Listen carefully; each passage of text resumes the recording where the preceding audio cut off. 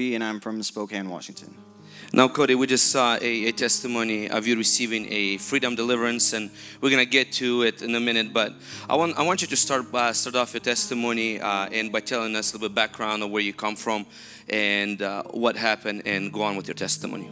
Uh, well, I grew up in a loving, um, normal, average family, uh, Christian family and uh, they raised me the best that they could. It was a middle class family. Um, went to church regularly, but it was mostly just attendance for me because I had a secret, and that was um, I was a homosexual. I was in, you know, I had those desires, I had those thoughts, and I knew it was wrong because of what uh, the Word taught me when I was in church, but I never, for some reason, took it seriously.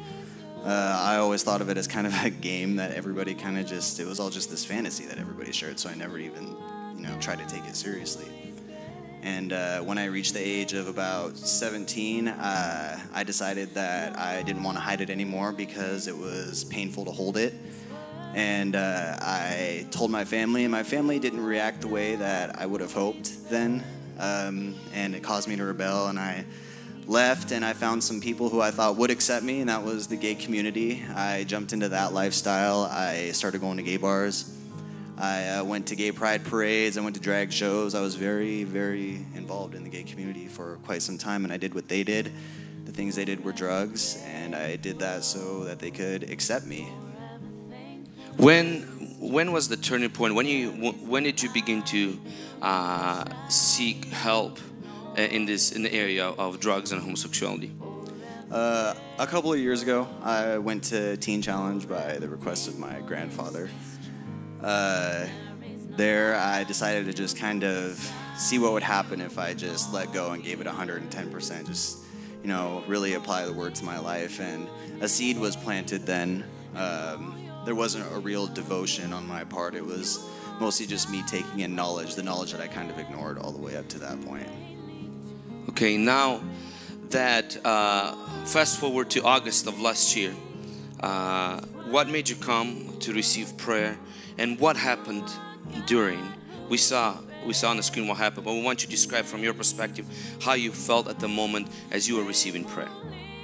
Well, uh, it was a staff member at Teen Challenge that uh, said maybe there's something bigger going on with you, and there's this place called Hungry Generation, and they have a deliverance service, and you know maybe something will happen there. So I came, and uh, I didn't really know what to expect. I uh, I just prayed and I said, God, I don't know what you have for me here. I don't know if you have anything for me here.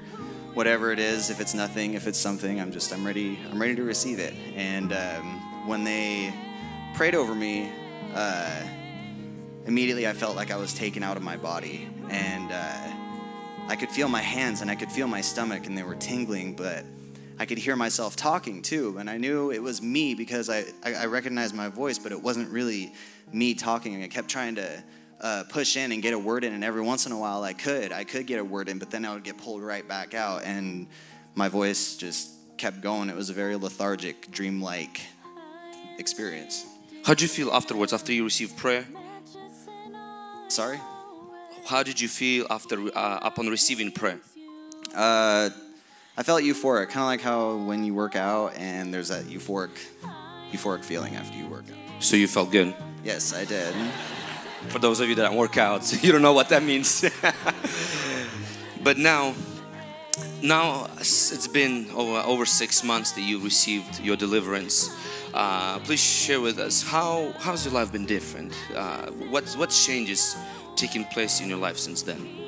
Well, the enemy still tries to push those thoughts on me. They still show up unannounced. but uh, I know who I am now. The desire is gone. I have no desire whatsoever. Yeah. So you say the the different, the clear difference for you before is that you had the desire, the drive, the the, the want, uh, but now uh, now it's gone. Even though the thoughts occasionally pop in your in your mind. Yes, exactly. And I credit it all to Him. I know that I'm only able to do that because it's His Spirit living in me, and I just live off of that. Just come on, let's put our hands together.